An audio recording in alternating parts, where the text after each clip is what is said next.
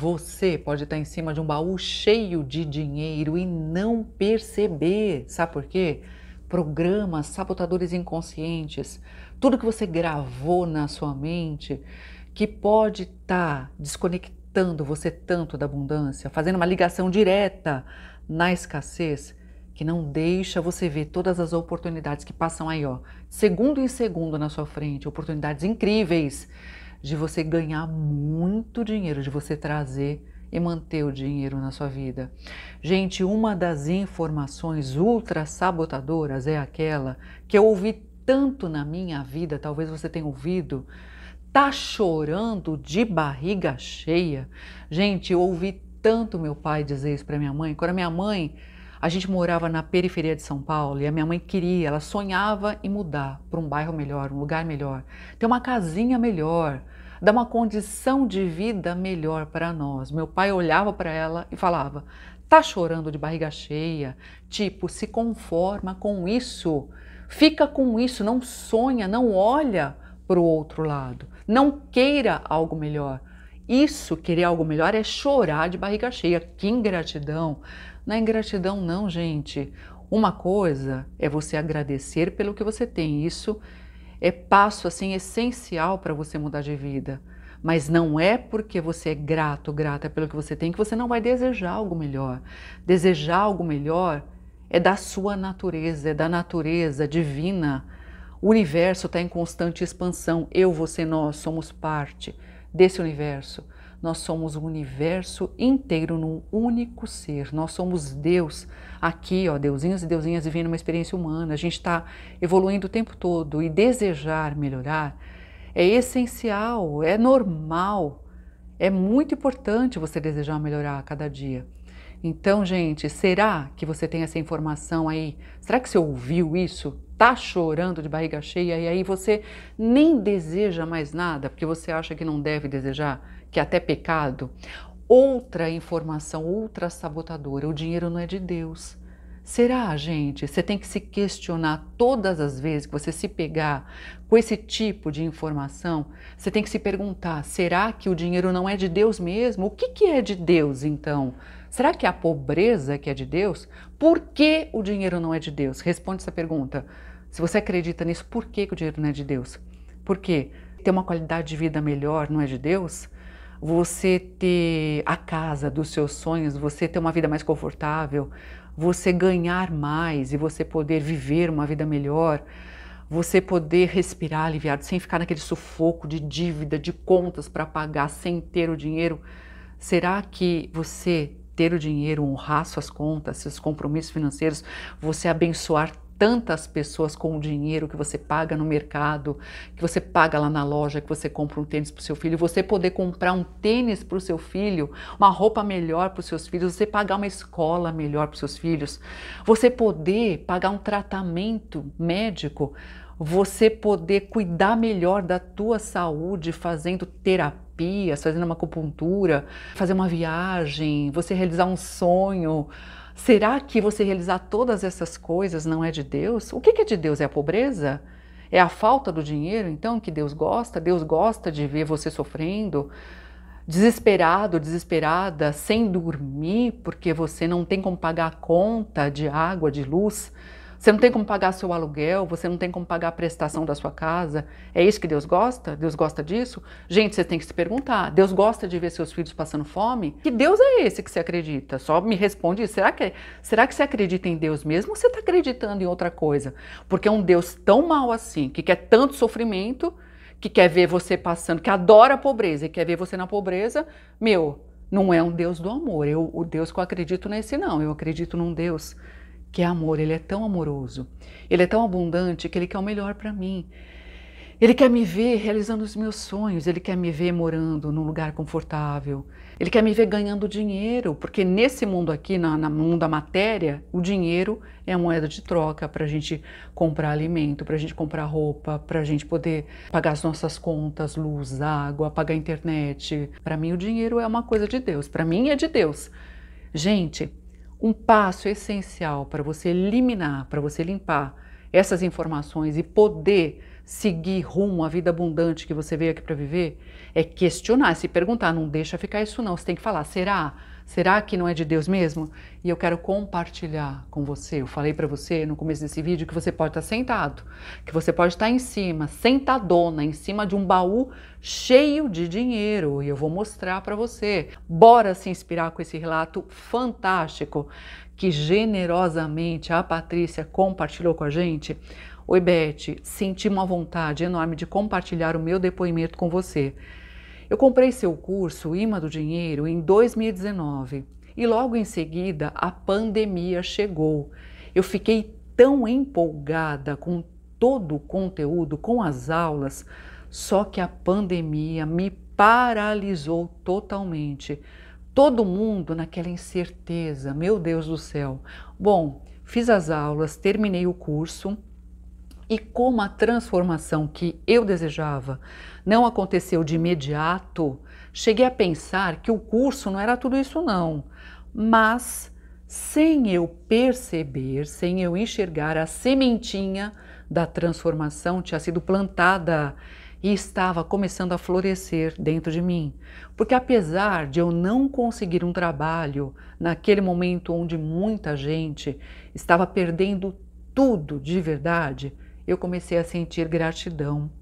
Eu me sentia grata por estar numa casa confortável, pelo meu marido ser funcionário público e assim nós termos ficado relativamente tranquilos financeiramente. Entendi que a gente atrai aquilo que a gente vibra e que só ficar repetindo mantras, escrevendo cartas dos desejos, apesar de ser muito importante, não soluciona tudo. A gente tem é que se mexer, a gente tem que fazer a nossa parte, indo, dando passos na direção daquilo que a gente quer realizar.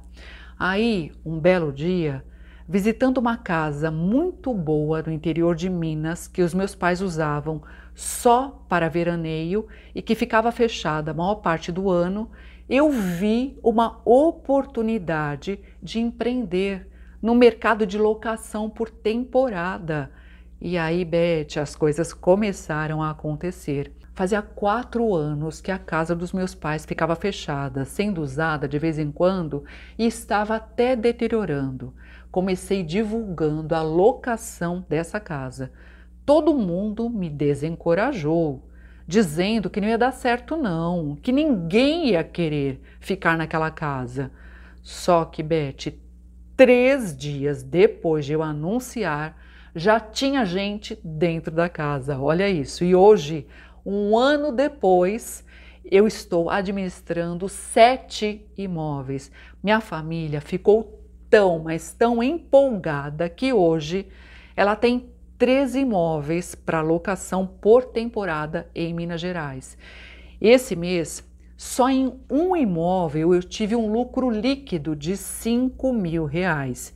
Em outro imóvel que a minha família alugava por 500 reais por mês, eu consegui lucrar 1.800 reais. Sabe em quanto tempo? 15 dias. Beth, isso é só um resumo da história toda. A coisa ficou tão boa, mas tão boa que até eu e meu marido compramos um imóvel para esse tipo de investimento também, locação por temporada. Um dia, ao pegar o meu caderninho, onde anotei todos os exercícios do imã do dinheiro, das suas aulas, eu fui dando cheque em várias coisas que antes de fazer o curso pareciam completamente impossíveis de eu realizar. Uma delas é pagar à vista, sentindo que eu posso, que eu tenho dinheiro para pagar. A outra é pagar com gratidão, assim que eu recebo todas as contas. Hoje pago até antes do vencimento. Outra, Beth, abençoar tudo e todos, abençoar as pessoas, prestadores de serviço, abençoar todos os meus clientes, substituir as coisas velhas, as coisas quebradas, trazendo mais prosperidade para minha vida, etc, etc, etc. Tudo isso hoje, BT, eu faço com facilidade. Ontem, só para você ter uma ideia, o micro-ondas de uma das casas que eu administro estragou. Hoje cedo já entrei na loja e fiz a compra de um micro-ondas novinho e paguei, sabe como? À vista. Vida me surpreenda! No final do ano, eu comprei uns presentes de Natal em uma loja super famosa. Como não chegaram a tempo, cancelei a compra e me devolveram todo o dinheiro. Eu entrei no Instagram dessa loja e vi várias pessoas xingando, amaldiçoando. Sabe o que eu fiz? Parei de ler todos os comentários e saí de lá rapidinho. Pensei, não quero essa vibração para mim, não, de jeito nenhum. Eu, hein? Hoje sou consciente de que eu atraio aquilo que eu sinto.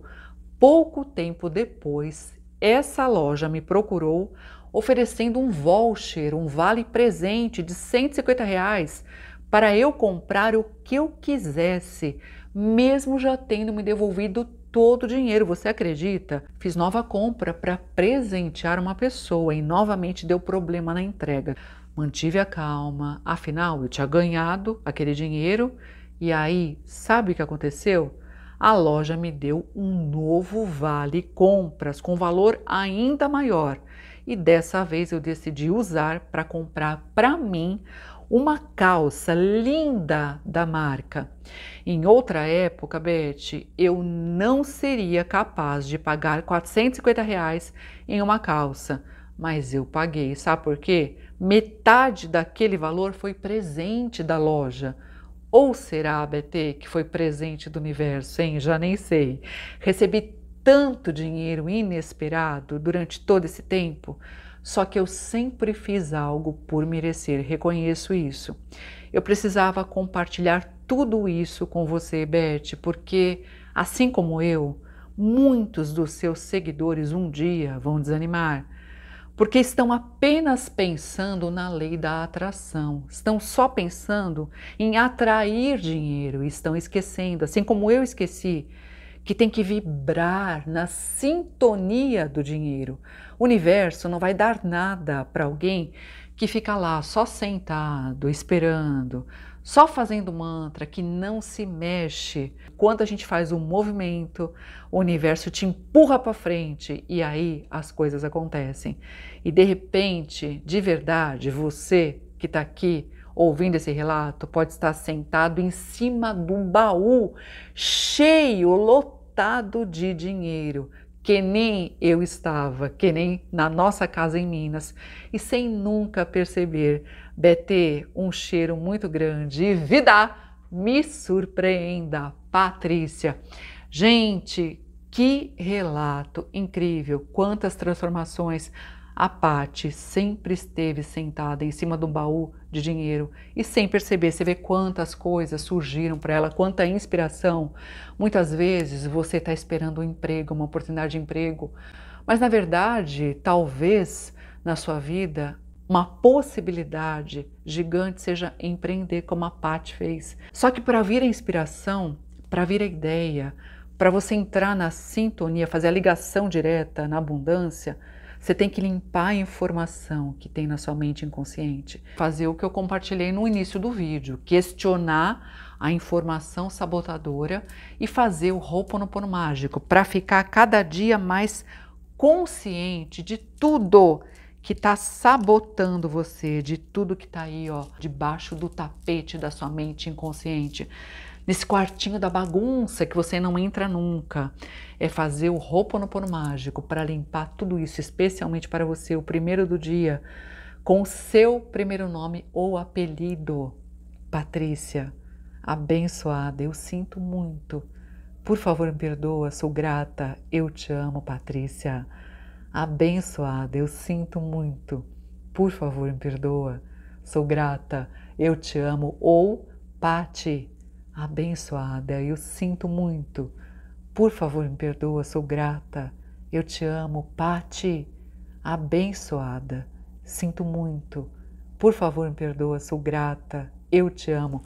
Faça 108 repetições do Ho'oponopono mágico para ir limpando essa informação sabotadora que você gravou na sua mente inconsciente. Faça todos os dias, faça dessa prática sua amiga inseparável. Você vai ver como muita coisa vai mudar. E assim como a Paty, se você sentir no seu coração desejo, vem fazer meu curso fantástico, dois cursos fantásticos que eu tenho, o imã do dinheiro e o desafio seja o imã do dinheiro. Se você ainda não fez o imã do dinheiro, começa por ele. Vai lá no meu site betrusso.com.br, faça a sua inscrição no imã do dinheiro. Depois que você finalizar o imã do dinheiro, faça o desafio, seja um imã do dinheiro, que você vai ver mudanças assim poderosas. Você vai ver quantos baús de dinheiro existem na sua vida e você nunca percebeu, você nunca enxergou. Você vai ver quantas possibilidades. Assim, ó, chuvas e chuvas e chuvas de oportunidades de você ganhar muito dinheiro, porque na essência você já é um imã de tudo de mais lindo, inclusive de dinheiro. Tá bom, gente? Um beijo. Lembra que eu amo você e me conta se esse vídeo aqui te ajudou, pelo menos um pouquinho. Conta pra mim, tá bom? Beijão e até sempre, hein? Tchau, tchau.